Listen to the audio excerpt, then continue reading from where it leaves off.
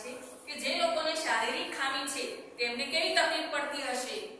તો ખામી અને એમને પડતી મુશ્કેલીઓની આપણે નોંધ કરવાની છે. તો ચાલો આપણે અહીં નોંધ કરીએ. ખામી અને પડતી મુશ્કેલી.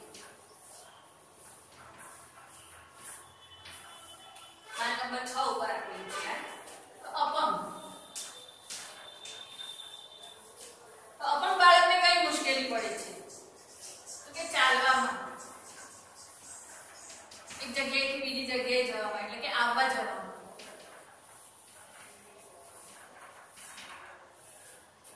ત્યાર પછી તો કે મુસાફરી કરવામાં, કામ કરવામાં.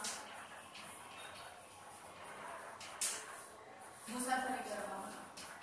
મુસાફરી કરી ના શકે શાળા સુધી તો બધા જઈ શકે પરંતુ એને જો બીજી જગ્યાએ, કોઈ બીજી જગ્યાએ મુસાફરી કરવી હોય ક્યાં જવું હોય એને ખૂબ મુશ્કેલી પડે.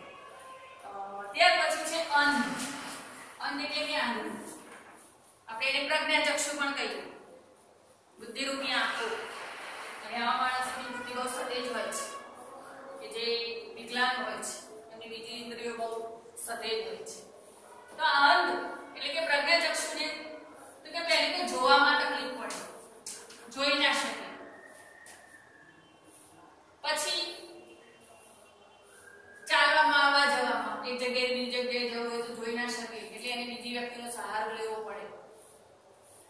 અથવા પેલી સફેદ લાકડીનો ઉપયોગ કરવો પડે એ લાકડી સીધી આમ આમ આમ આમ કરીને આગળ જાય એટલે ખબર પડે એમ કે અંદર કોઈ અવરોધક વસ્તુ તો છે નહીં જોવામાં ચાલવામાં, કામ કરવામાં, ભણવામાં, ભણી પણ ના શકે. અને બ્રેલ ઉપયોગ કરવો પડે. આપણે ત્રીજા ધોરણની જોયું હતું રવિભાઈ પ્રજ્ઞાચક્ષુ હતા. તો એ સફેદ લાકડી લઈને ચાલતા હતા. અને બ્રેલ દ્વારા પોતે શિક્ષણ મેળવતા. અને બાળકોને પણ ભણાવી શકતા તો પછી કે દુનિયા એમને અંધકારમય લાગી. બધું અંધારું અંધારું જ લાગે ચાલવામાં ભણવામાં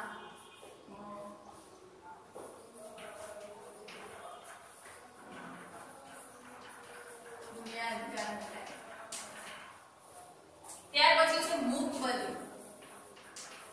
મૂક બધિર એટલે બોલી પણ ના શકે અને સાંભળી પણ ના શકે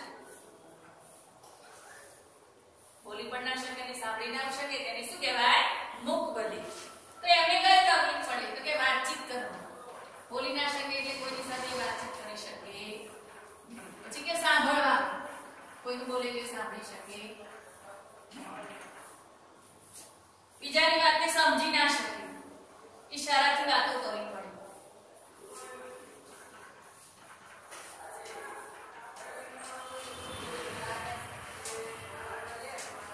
ને એકલવાયું જીવન લાગે પોતાને ખૂબ એકલવાયો અનુભવે કારણ કે બોલી પણ ના શકે સાંભળી ના શકે બીજો કઈ બોલે એ પણ સમજી ના શકે અ, પોતે અ, બીજાનું બોલેલું સાંભળી ના શકે એટલે ઈશારાઓથી એની વાતચીતો કરવી ત્યાર પછી છે પ્રવૃત્તિ છે. આંખે પાટા બાંધીને મેદાનમાં ફરશું, અનુભવ થયો તે કહો. તો આવી બીજી પ્રવૃત્તિ શિક્ષક પાસેથી જાણો અને અનુભવ આપણે આ પ્રવૃત્તિ ત્રીજા ધોરણમાં પણ કરાવી. પાઠ તેરમાં હતું, લાગણીઓની ભાગીદારી. અને આ પાઠમાં આપણે આ પ્રવૃત્તિ કરાવી. સ્પર્શ દ્વારા.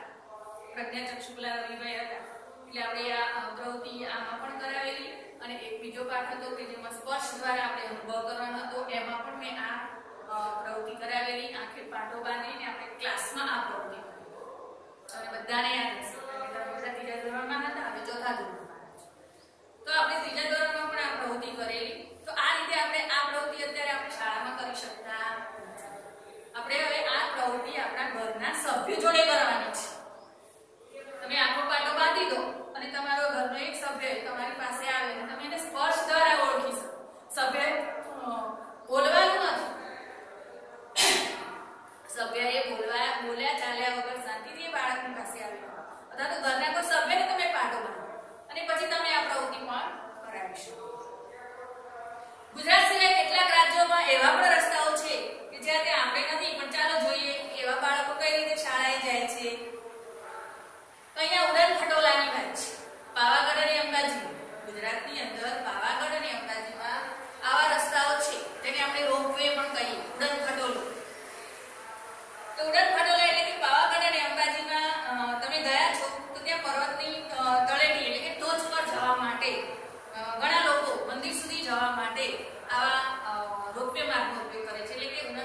ટ્રોલી જેવું સાધન હોય મજબૂત તારનું દોરડું બાંધેલું હોય છે ઉપરથી નીચે સુધી અને એને એક ટ્રોલી જેવું સાધન લટકાવેલું હોય અને એમાં બેસી અને ત્યાં ઉપર જઈ શકાય અને નીચે પણ આવી શકાય.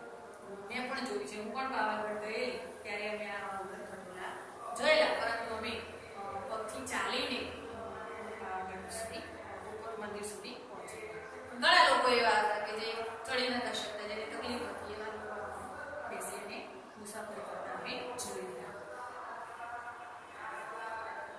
કેટલાક રાજ્યોમાં નદી અથવા તો ખીણની સામેની બાજુ જ આવા પ્રકારના માર્ગનો ઉપયોગ થાય છે શાળા જતા બાળકો પણ તેનો ઉપયોગ કરે છે કેટલાક રાજ્યોમાં એવા છે કે ખીણ હોય વચ્ચે મોટી અથવા તો કોઈ એવી મોટી નદી હોય તો એના ઉપરથી આપણે જે છે ને બદ્રી કેદારનાથ ત્યાં પણ કંઈક આવી સગવડ છે ઉપર જવા માટે આવા ટ્રોલી જેવા સાધનમાં લોકો ત્યાંથી અ, એમાં બેસીને જાય છે પણ હેલિકોપ્ટરની પણ વ્યવસ્થા છે આ સિવાય કેટલાક રાજ્યોમાં વરસાદ ખૂબ પડવાથી રસ્તાઓ પાણીથી ભરાઈ જાય છે તેથી આ બાજુથી પેલી બાજુ જવા માટે બાંસમાંથી પુલ બનાવાય છે તો કેટલીક જગ્યાએ લાકડાના પાટિયા કે દોરડાનો પુલ બનાવીને તેનો ઉપયોગ કરવામાં આવે છે આપણા ગુજરાતની અંદર ઘણા બધા રાજ્યો અમ, ભારતની અંદર ઘણા બધા રાજ્યોમાં અ, વરસાદ ખૂબ વધારે પડે છે જેમ કે આસામ આસામમાં પણ અ, ઘણીવાર ઘણો બધો વરસાદ પડતો હોય છે બિહાર છે આસામ છે પશ્ચિમ બંગાળ છે તો એવા રાજ્યોમાં એમ કે અ, ખૂબ વરસાદ પડે એટલે રસ્તા ઉપર પાણી ભરાઈ જાય એટલે જવામાં ખૂબ તકલીફ પડે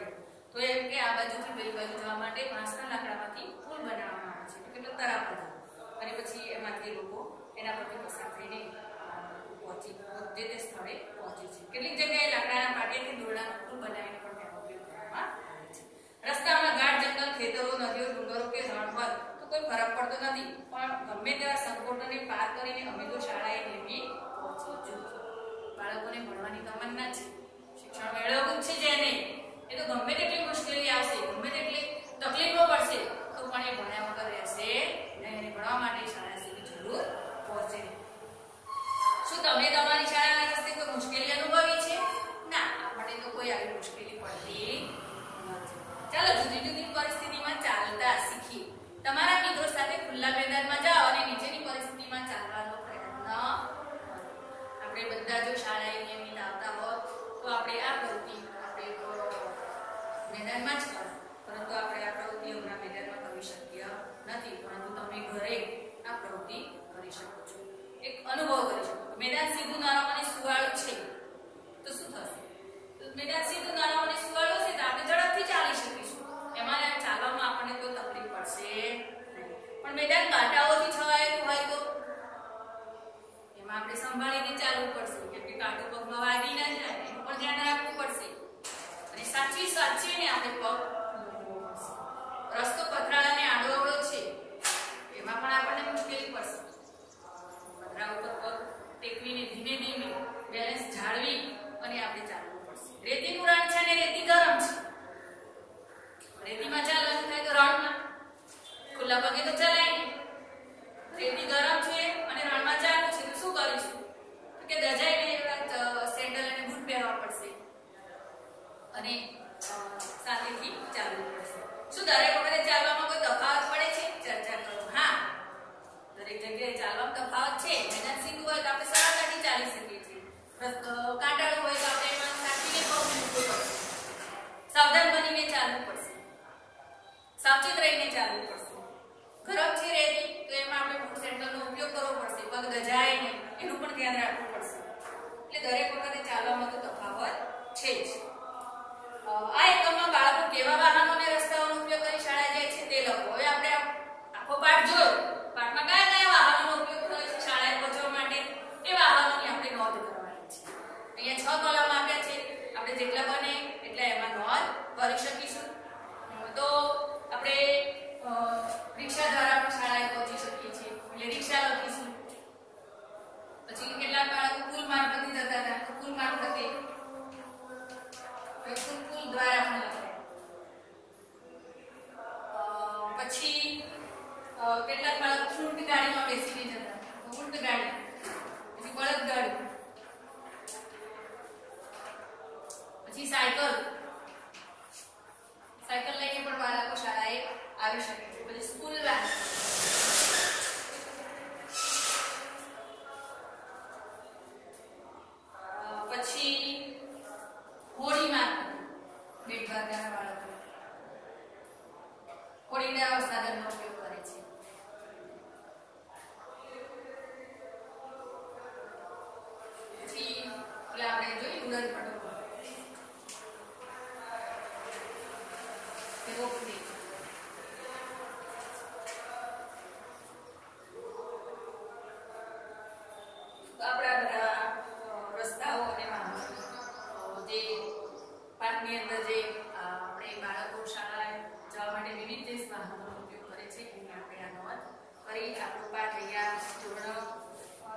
વેન વિદ્યાર્થી મિત્રો ઘરે તૈયારી રાખજો વાંચજો અ, તૈયારી કરજો અને ના સમજ પડે તો આ વીડિયો વારંવાર જોઈ અને સમજજો. હવે આપણે નેક્સ્ટ વિડીયોમાં બીજો પાઠ લઈશું. તમારે આ બધા પ્રશ્નોની ચર્ચા કરવાની છે અને ઘરે ખૂબ તૈયારી કરવાની છે.